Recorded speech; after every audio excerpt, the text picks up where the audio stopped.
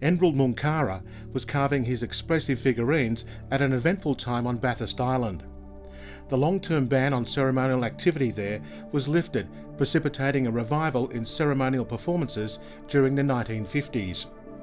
Interest in Tiwi art was also escalating, with visits from researchers and collectors like Stuart Scougall, Tony Tuckson and Dorothy Bennett, who collected these sculptures around 1956.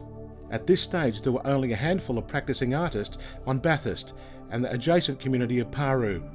Prominent among them were Cardio Keranawia and Enril Munkara, who spearheaded the development of the small figure carving movement that is now the mainstay of Tiwi art. While such figuration was rare at the time, it did have a traditional precedent. The incorporation of human heads into the conventionalised form of the Tiwi burial pole was first recorded in the 1930s, and by the 1950s, small softwood figures were also occasionally placed on the grave during a Pukamani mortuary ceremony. These statuettes represented the body of Purukapali, who drowned himself in sorrow after the death of his baby son. Enril's figures of Purukapali and his wife Waye are unique in the way they capture the abject grief of these bereaved ancestors with their hunched shoulders and numbed expressions.